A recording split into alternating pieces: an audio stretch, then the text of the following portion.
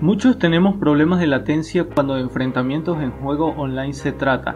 Se requiere tener una buena conexión y una estabilidad en nuestro ping para lograr cumplir con nuestras expectativas a la hora de jugar algún videojuego. Si eres nuevo en este canal quizás no lo sepas, pero tengo un proyecto llamado Better Ping. Hey, muy buenas a todos amigos de YouTube, espero que se encuentren bastante bien eh, un abrazo enorme a toda la gente suscrita al canal. Realmente estoy bastante emocionado por haber llegado a la meta de 10.000 suscriptores y estoy agradecido con todos ustedes. Una vez hecho esta pequeña introducción y bueno pues antes de ejecutar el proyecto quisiera ejecutar primero este juego llamado Super Fighter Deluxe que básicamente es un juego de peleas pero es para mostrar sus servidores. Realmente acá en Venezuela eh, los servidores realmente van fatal. Eh, casi siempre tengo de 300 ms y bueno pues ya, ya me cayó. Y vamos a darle acá en Browse y vamos a elegir este servidor que no tiene tanta gente. Y bueno pues como pueden ver tengo alrededor de 200 ms. Está bastante bien pero podría mejorarse. Así que bueno vamos a cerrar acá el juego. Que ok bueno, pues ya habiendo hecho ese pequeño test, espero se haya grabado bien, vamos a ejecutar como administrador el programa.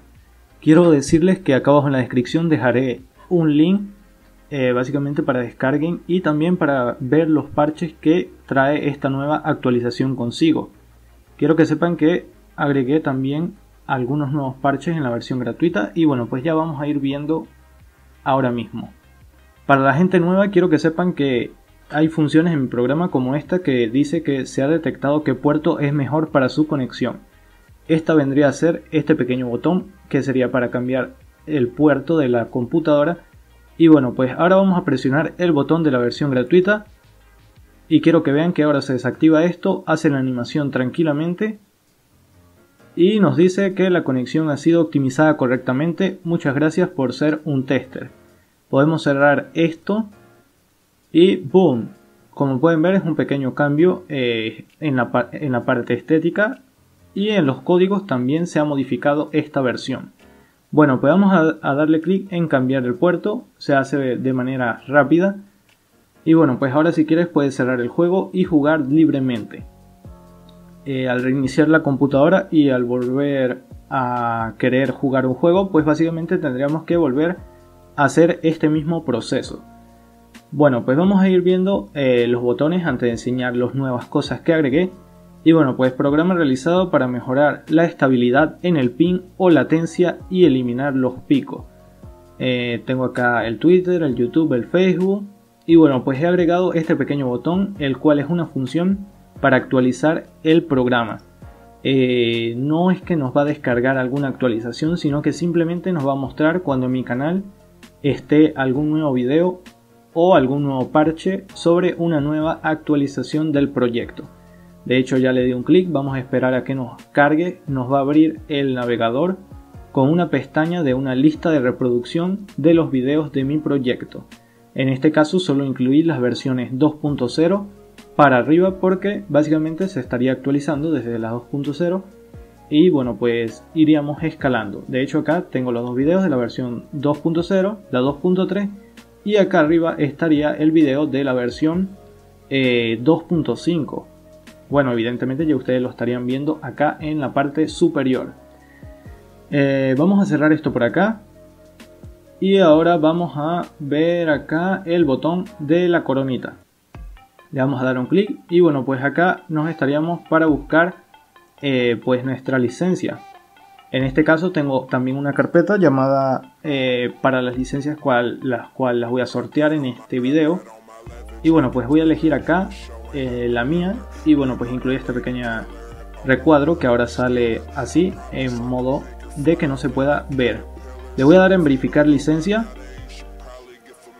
y quiero que vean esto amigos míos y esto es todo lo nuevo que agregué. Básicamente un cambio nuevo estético tanto para todos los botones y también en modo de lista. incluiré algunas flechas que irán pasando los juegos y también acá incluiré un botón que englobe todos los juegos sin necesidad de que estemos pasando una flecha por una, sino que básicamente lo tendremos acá en este apartado. Bueno, pues ahora vamos a presionar, eh, bueno, pues algún juego como Zula y acá nos estaría optimizando las librerías de dicho juego. Eh, como pueden ver es un apartado bastante simple acá. Y dice que ya podemos abrir el juego de Zula. Vamos a presionar acá el Gaming Mod y ya se estaría activado que básicamente hace en CMD eh, los comandos de forma bastante rápida.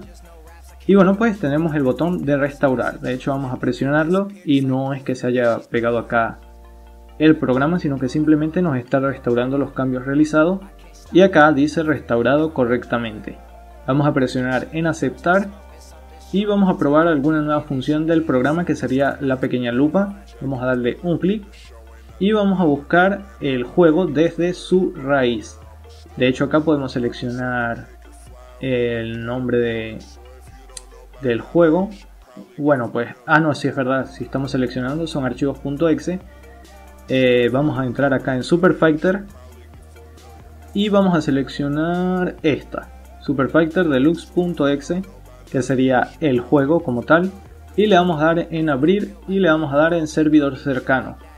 Acá nos estaría buscando el pequeño servidor y nada más tendríamos que esperar a que nos cargue. Bueno, pues servidor aplicado correctamente y quiero que vean que se nos abre esta pestaña, eh, una pequeña, un pequeño aviso que nos sale que dice ejecute el juego.